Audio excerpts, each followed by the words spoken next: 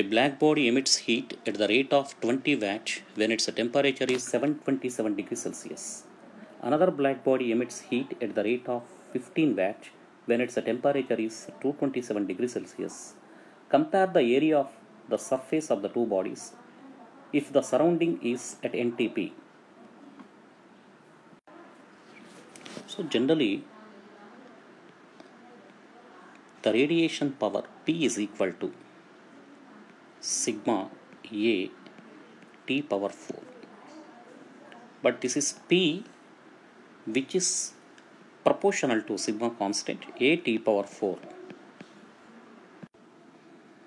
so let us write P1 by P2 is equal to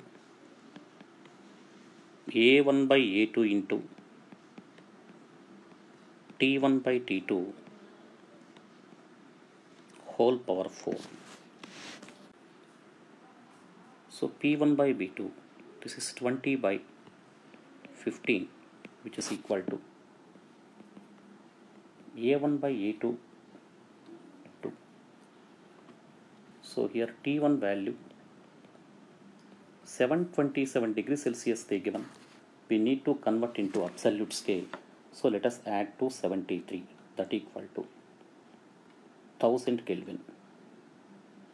T2 is equal to this is 227 let us add 273 that equal to 500 Kelvin.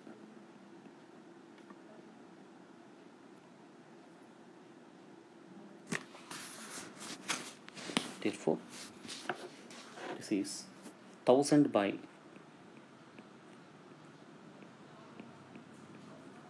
500 whole power 4 these two zeros get cancelled 5 ones 5 twos. This is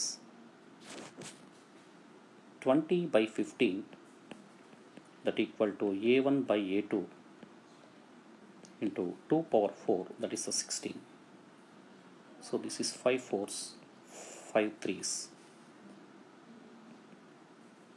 4 by 3 which is equal to a1 by a2 into 16 so 4 ones 4 fours. Therefore a1 by a2 which is equal to 1 by 12 a1 is to a2 is equal to this is 1 is to 12 so fourth option is the right option